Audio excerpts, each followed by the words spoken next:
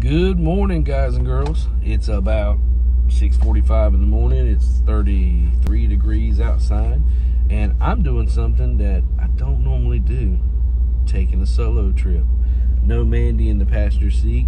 Camper is in tow, and I'm at the about 10 minutes from our house at the seems like where all of my adventures begin is the gas station. So we got a few things we're going to do this weekend. Heading out to some family uh, property and uh, got a project set up for the camper.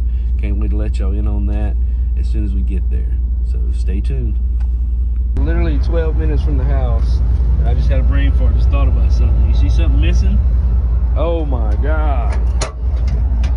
Cannot believe I did that, but I am so glad that I remembered before I got on the highway. Guys, don't be a bonehead like me. Sure all your pins and stuff are where they're supposed to be before you get on the highway. Holy moly. Catastrophic save right there. Don't be like me. Take the time, check your stuff. Even though I've checked, I made it to my destination. It's a beautiful farm country. It's at my uncle's house. He owns a metal fabrication shop.